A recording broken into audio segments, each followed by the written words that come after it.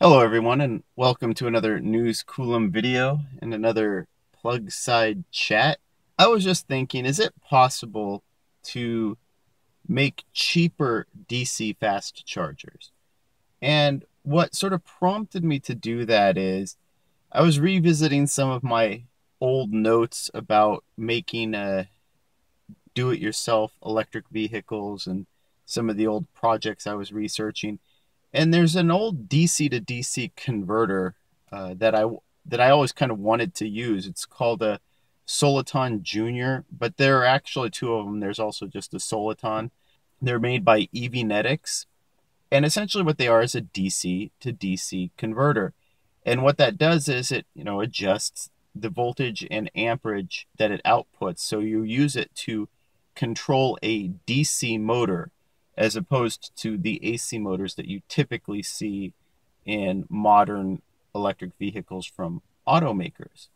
Now, the reason that that's important is when you look at charging a battery, essentially what's happening is it's communicating with the DC fast charger and it's asking for a certain amount of voltage and a certain amount of amperage, which the charger then provides to the car and then that charges the battery at a DC charge. When you look at a DC to DC converter or a DC motor controller like the Soliton, that's essentially what it's doing.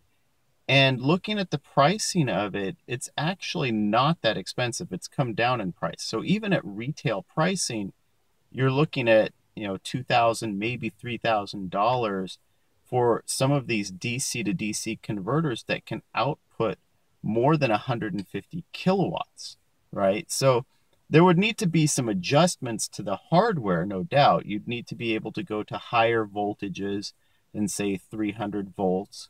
Uh, and you would probably want a higher input voltage than just 350 uh, volts input.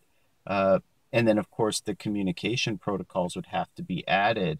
But when you compare that to these DC fast charging stations, that are converting AC over to DC and then feeding that DC power into the car, it seems like a bargain. A lot of those are 30, 40, 50,000 dollars, especially for the higher uh, power units, the 150 kilowatt or faster units.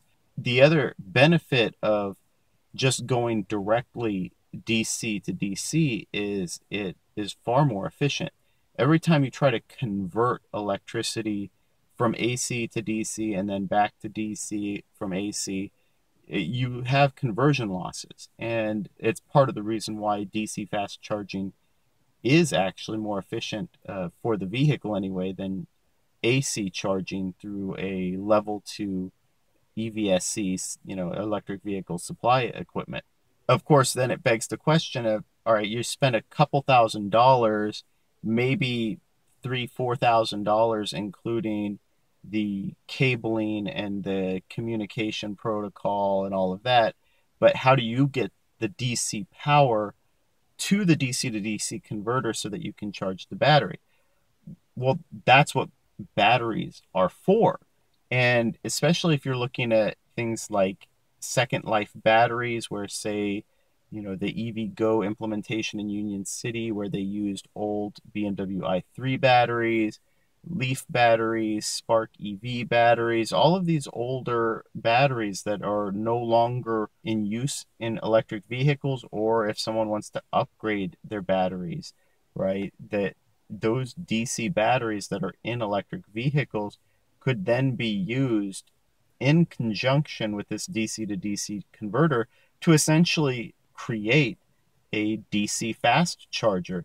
You wouldn't need three phase power. In fact, all you would really need is to modify the level 2 charger that came with that vehicle or came with that battery and hook it up to the grid. Now, the drawback to this is for high, high, high volume chargers, well, you're never going to be able to keep that battery full you're eventually going to need to draw power from the grid at fairly high rates. So it wouldn't be a good implementation for that. But for chargers that are only occasionally used, it seems like it's a really good, you know, alternative to spending forty or fifty or sixty thousand uh, dollars, maybe more than that, especially when you consider three phase power that needs to be converted, and then it needs to be transferred through the DC to DC controller, and then from there, you know, it, it, there's a lot of complication with the current DC fast chargers that we see uh, implemented, and there are a lot of prerequisites that they have for a site. This would allow you to use a very similar hookup to what you see with a lot of these uh, 24 kilowatt charge points that some businesses have installed, uh, where it's a cheaper, you don't need the three phase power to hook it up. It's only you know 55, 60 amps or whatever, 400 volts. Well, you really don't need a faster hookup than that. You really actually aren't going to need the same footprint either. Uh, the biggest footprint would be for the battery itself. And with that, you'd end up with a charger that could just be mounted behind a business somewhere and outputting 150, 200, you know, maybe 300, 350 kilowatts, depending on the setup. Um, and it would be very reasonable and it would be very efficient. Like I said, you're not dealing with a lot of these conversions. So I, I wonder, especially a business like EVnetics, um, because I don't think right now the do-it-yourself electric vehicle market is that strong. I don't think a lot of people are doing conversions. Vehicles like the Bolt EV, like the Nissan Leaf, uh, the the Kona Electric that's coming out, they all make electric vehicle conversions a little bit harder to justify in terms of you know return on investment. So I, I don't know how well EVnetics is doing as a business in terms of their sales, but you know they have a good reputation, they have good hardware.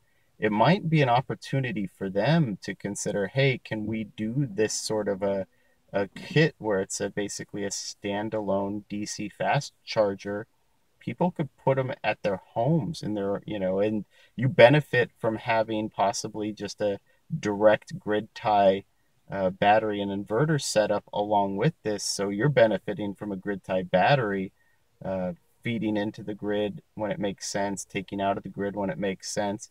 And all the while, you have a DC fast charger that someone could swing by and use and paying you 20 cents, 25 cents a kilowatt hour uh, for a fast DC charger that runs off of a regular household uh, you know 220 volt outlet.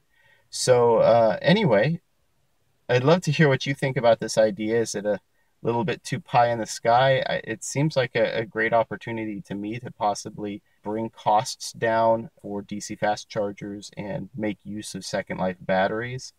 If you enjoyed this video, please like and subscribe. It really does help out the channel and uh, thank you for watching.